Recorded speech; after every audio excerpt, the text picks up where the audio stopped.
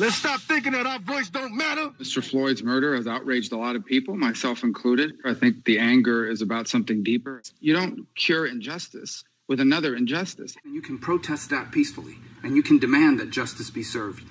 What you cannot do is what we're seeing now. What we cannot continue to have is people taking to the streets and burning things down, attacking people, vandalizing property, threatening cities, a reign of terror in our streets. That has to end.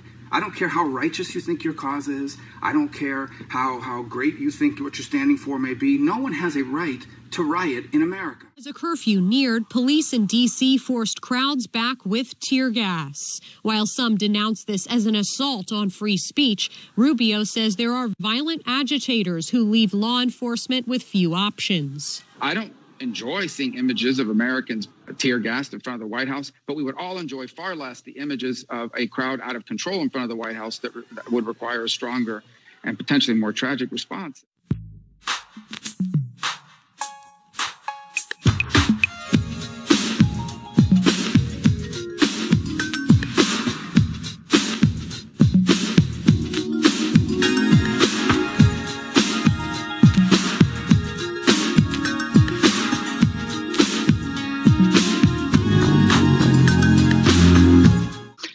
But um, but you know, and so none of it is an excuse. Now, I do think that one of the challenges we have is we have a serious crisis of confidence in this country. There is now literally no individual or institution in this country right.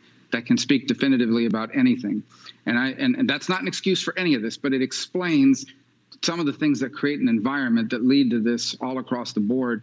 And the media is shocked, you know, that that they they have zero credibility. They're viewed largely as biased. And then you have the censoring of, of news stories before an election uh, by the social media companies.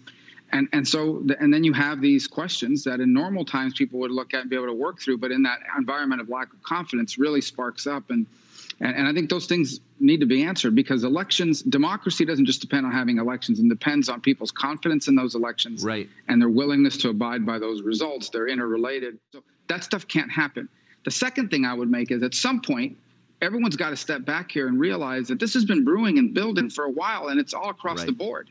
And, and, and, there are real factors out there that are contributing not just to an erosion of confidence and trust in America, but some of the rhetoric. You made a point, and I caught the tail end of it, and it's absolutely right. There is no such thing as a country in which you know half of us are very happy and the other half is very unhappy. It just That's it can't ha- it can't work.